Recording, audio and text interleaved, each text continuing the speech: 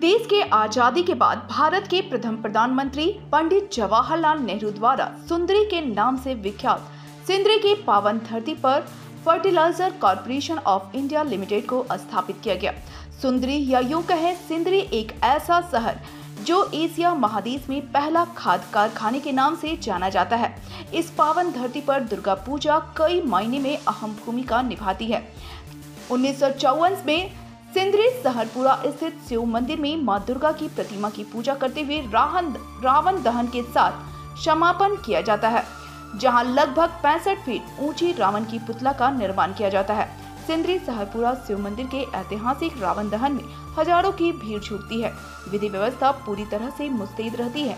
रावण दहन के, खास करके विजयदशमी की अगर बात करें तो लाठी भांजी, हाथी घोड़े से सिंदरी के वातावरण खुशियों से भरी रहती हैं। लेकिन वर्तमान समय में एफसीआई और पीडीआईएल कंपनी के बंद हो जाने से सारी सुविधाओं से कई वंचित रह गया है। लेकिन फिर भी स्थानीय लोगों की हर्षोल्लास में कमी नहीं है।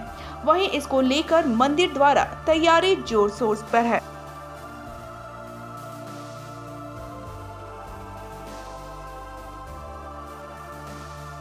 ऐतिहासिक स्थल है और आप ही के परिवार का जो कार्यक्रम हमेशा से रहा है और रावण दहन का कार्यक्रम होने जा रहा है।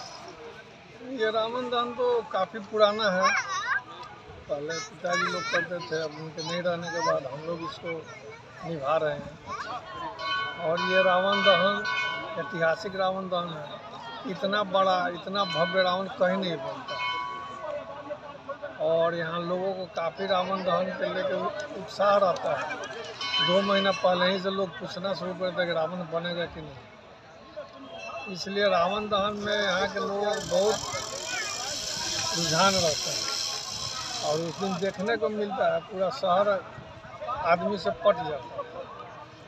सबसे विशेषता है कि शांतिपूर्वक निभा जाता है। अक्सर देखा गया है कि लाठी भांज होता है हाथी घोड़ों का आगमन होता है। इस बार क्या कुछ खास है इसमें? हाथी तो बैंड लग गया है हाथी तो अब नहीं आता है लेकिन बाकी सब कार्यक्रम होगा। झांकी निकलेगा राम लक्ष्मण हनुमान का। लाठी जो परंपरागत हथियार है वो सब तो रहेगा क्या कुछ साइज़ इस बार रखे हैं रावण जी के? रावण जी का साइज़ पैंसठ फुट लंबा और चालीस फुट चौड़ा है। ये निर्माण कार्य कब से चालू हुई है सर? ये उनतीस तारीख से ही चल रहा है। लगभग कितना समय लग जाता है? लगभग महीना दिन लग, लग जाता है सताईस अट्ठाईस दिन। लोगों के क्या कुछ रुझान रहता है और कितने की भीड़ रहती है इसमें? लोगों कम से कम चालीस पचास हज़ार का भीड़ रहता है। विधि व्यवस्था कैसे विधि व्यवस्था ठीक ही रहता है। प्रशासन अपना विधि व्यवस्था देखता है। आज तक तो ठीक ही रहा इस बार भी ठीक रहेगा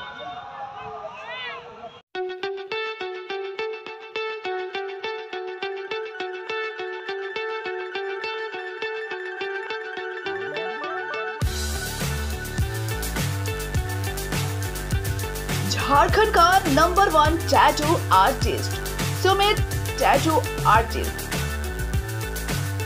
near Bihari Lal Chaudhary Hari Mandir road Hirapur Dhanbad नए जमाने के लेटेस्ट टैटू बनवाएँ और सबों के दिलों में छा जाएँ। या पुराने टैटू रिमूव करवाएँ और डिफेंस बहाली की अड़चनों को दूर करवाएँ। पूजा स्पेशल ऑफ़र 50 प्रतिशत डिस्काउंट का लाभ उठाएँ। तो आज ही कॉल करें सात शून्य पाँच शून्य शून्य शून्य पाँच नौ नौ आठ पर।